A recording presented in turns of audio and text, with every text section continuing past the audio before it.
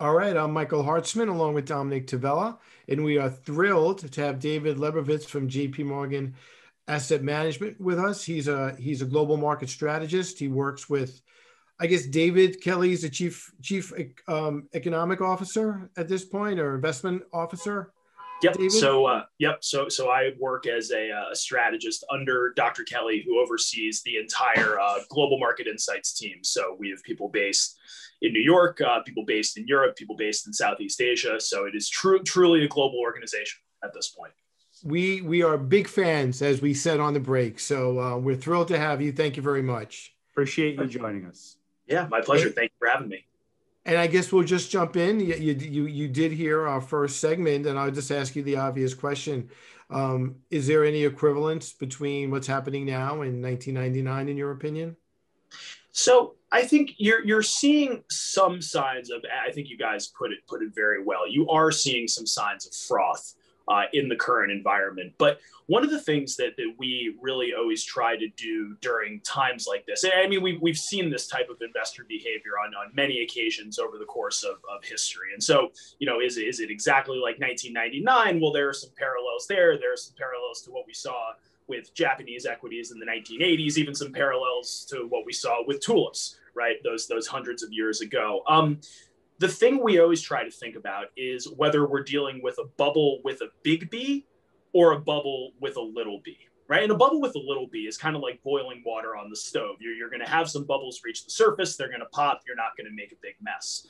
Uh, a bubble with a big B is more like trying to boil a pot of milk. It's going to go everywhere, and you're going to spend you know hours dealing with the uh, dealing with the aftermath. And you know, again, I think part of what's happening here is really twofold. Um, on the one hand, we've seen access to equity markets continue to get taken down over the years. And you know, you look at the ability to trade commission free, you look at the ability to trade fractional shares, you look at access to information, right? A lot of the stuff that was historically reserved for the institutional investment community is now available uh, to anybody who wants it on the uh, on, on the internet and you couple that with this cocktail of, of quarantine and liquidity that, that everybody's been served. And you know it, it makes sense that we've begun to see these pockets of froth uh, across the capital markets. And so when, when we see prices becoming disconnected from fundamentals you know it always catches our attention. Uh, what we want to make sure of is that that behavior isn't becoming too widespread. And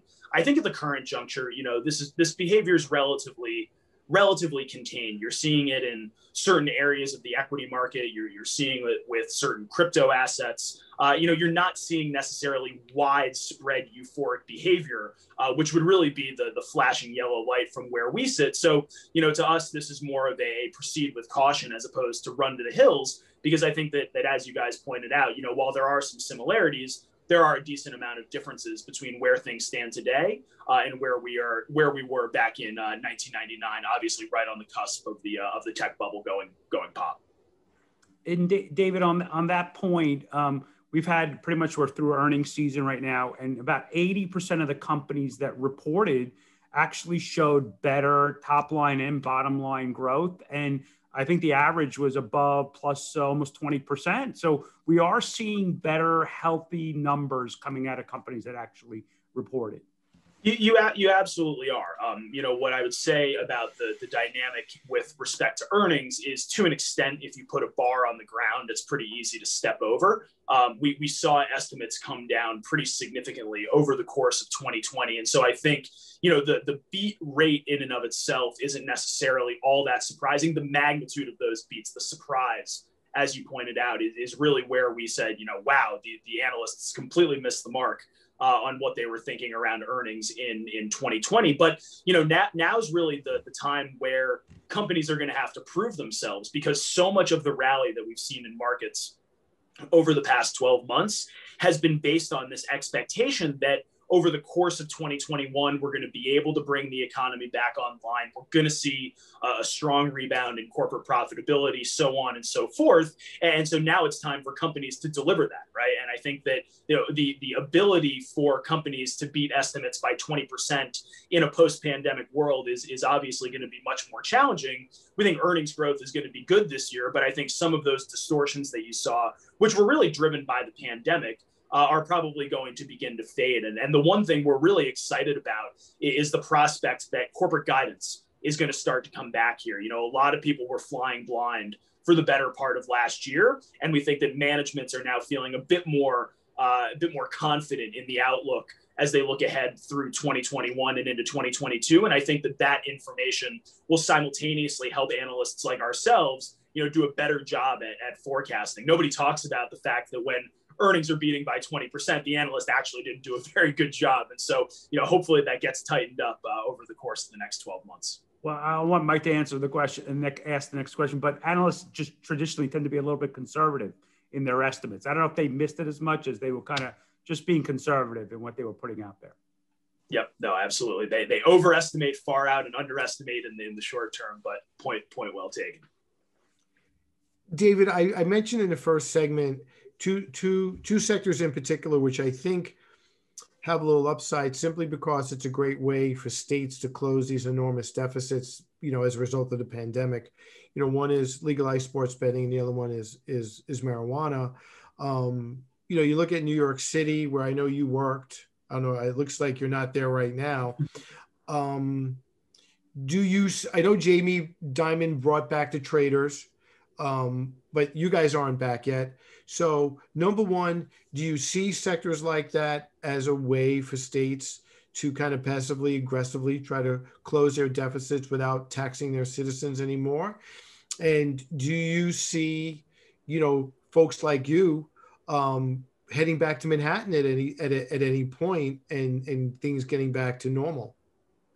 So, um, a couple of thoughts there on the the state and local revenue question. I, I think you're going to see governments, state and local governments, pull whatever levers they they can grab. You know, when we look at the the amount of stimulus that we think is going to be part of this next bill, that is solely dedicated to the purpose or for the purpose of supporting state and local governments. I mean, they, they have a heck of a hole that they need to dig themselves out of. And, and my home state of Connecticut is really the prime example of, uh, of you know budget budgets gone wrong, if you will. And so I think that going forward, you know whether it's it's the legalization of marijuana, whether it is you know an, an increasing legalization of, of sports betting, you know you are going to see states and municipalities leverage less traditional revenue sources in an effort to get their budgets back on a, more sustainable long run trajectory. But you know, I think you you ask a really interesting question that that is kind of indirectly tied to to that point about the state of budgets going forward and, and that's you know when do we go back to work and, and, i'm firmly of the view that it's a question of of when um, I, I think that particularly for businesses like financial services technology, law. The most valuable capital that these businesses have is their human capital, right? And human capital is something that is best developed in person. We've gotten very good at interacting, you know, via various web conferencing technologies and, and doing things remotely. But there's something to be said from sitting down across the table from somebody and having an in-person conversation. And so, you know, I do think that we will go back to work. Um, I think, frankly, we are at the mercy of the virus and the ability to get everybody vaccinated in terms of what's going to dictate that timing. Uh, but I do think, in general, working arrangements are going to be more flexible. You know, I very much envision that when I go back to our office on Park Avenue, you know, I may not have a dedicated desk in that building anymore. There may be a desk that I can sit at whenever I find myself in Manhattan, but maybe I'm working one day a week from my home office. You know, I think that what the, the disruption that the pandemic caused to our day to day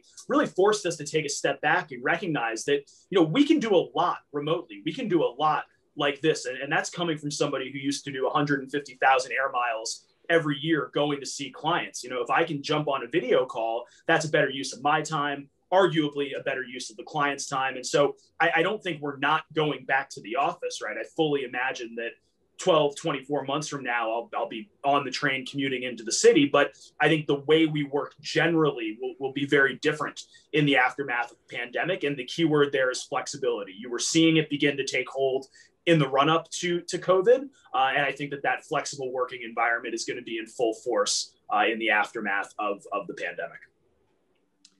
David, the, the, the, markets, are, I think, are clearly riding this wave that that uh, the vaccine is starting to come into the market, into the economy, into people's arms, and the economy is going to open up. But I think it's also taking a, a, a, hint that we might get a pretty large stimulus package coming out of Washington, and as you alluded to, helping the states. Um, what happens if we don't get the whole 1.9 trillion? That it's a more targeted, smaller package that uh, that Uh, would need support across the board to get passed. But what happens if we don't get the whole package? So I, I, think that you know, look, the, the market tends to be pretty reasonable, and if we don't get the full 1.9 trillion, I don't think that's going to be the end of the world. I think if we get 900 billion instead of 1.9 trillion, maybe that conversation begins to shift. But we're very much of the view that something one and a quarter, one and a half is is reasonable when all is said and done, and we do think that is going to be delivered. But I, I want to kind of take a step back to 20,000 feet and, and make a broader point that I actually wrote about uh, for our blog on the minds of investors. And that's when you when you think about what's driven markets up until this point right? It's been that view that the economy is going to come back online in a pretty boomy way. And there's been this view that policy is going to allow us to get there and you know you noted earlier that despite this this lovely kind of springtime like day uh, that we had here in the Northeast today, um, there's still a ton of snow on the ground. And I, I, the way I think about fiscal policy is kind of like a snowplow right? It's clearing the road and allowing consumers and businesses to effectively get to the other side of the pandemic. And for any reason, right, we see an underwhelming response on the fiscal side, or I would even broaden that out and say, if we were to see the Federal Reserve begin to change its tune a bit sooner than what people are expecting, right, any divergence from expectations around policy that we begin to see could very well cause pockets of, of market volatility. And so we think that Congress is going to deliver what the market is looking for here in the near term. But let's not forget, you know, they're talking about a broader recovery package for later on this year, things like infrastructure being tied into that. You know, there is a risk here that maybe not in the next couple of weeks, but more broadly in the next couple of months, we start to see a little bit of disappointment on the policy front. And that ends up being a source of volatility for a market that has basically risen uh, in a fairly uninterrupted fashion since we got the news on vaccines uh, back in November of, uh, of last year. So, David, speaking of policy, you know, the Fed has been on the record they're not going to raise interest rates probably till early 2023. When do we start dealing about the deficit, thinking about it? You know, when does that come in the, into the forefront? So I, I, think that you know there are three ways that you can reduce debt levels, which are obviously just accumulated deficits. Um, you can grow your way out of it, you can inflate your way out of it, or you can pay your way out of it. And, the challenge is growing your way out of a debt load is very difficult. Inflating your way out of it is very risky, and paying your way out of it through higher taxes is something that nobody really likes to do. But we've, we've blown out the deficit last year. We're going to do it again this year to pass this next round of stimulus. Um, I think that higher taxes are really much more a question of when as opposed to a question of if. And I don't necessarily think that it happens in 2021, but I do think we see higher taxes on both corporations and individuals at some point during the Biden administration. And again, that's going to be the first step to trying to get our federal finances on a more sustainable trajectory. I, I, I don't disagree with anything that's happened here over the past 12 months, uh, but I do acknowledge that the hole we're in is quite a bit deeper than where we stood uh, at the beginning of uh, at the beginning of last year. And Dave, if I can throw out one last question as we've run out of time, um, the one that really worries me and not a lot of noise right now is regulatory risk. We're, and, and, we're starting to hear rumors already, antitrust, going after the big tech companies. Uh, what are you, what are your concerns? Any ideas there? you know, I think anytime a, a, given industry makes a lot of money for an extended period of time, it, it begins to catch the attention of, of regulators. Uh, we don't think that the worst case scenario is going to play out. I certainly don't think that these mega cap tech firms are going to end up getting getting broken apart. Uh, but I do believe that that the rules of the playground, if you will, could could be re- re- rewritten. And so, you know, it's something where we're kind of watching it in real time. We recognize that there's risk on the horizon. We again don't see that worst case scenario playing out, but very much do view it as a risk primarily to, to, valuations, right? Because part of what these tech companies have benefited from is a relatively sluggish macro environment over the past couple of years and very low rates. And they've made a ton of money in that type of world. If their ability to generate those revenues and profits begins to get called into question, elevated valuations are going to be the first thing that begin to slip. And so, again, you know, we, we don't want to draw any lines in the sand prematurely, uh, but definitely view it as a, as a growing risk as we think about the next couple of years. Terrific. Thank you. David, thank you. This was fantastic. Thank you for your generosity with your time and your insight. My pleasure. Thanks for having me, guys. Thank you so much. We could do this all day, but looking forward to the next time already. Thank you. Thanks. Again. We'll be right back with day. Jordan Kimmel and his guest this evening, Jeff Hirsch. We'll be right back.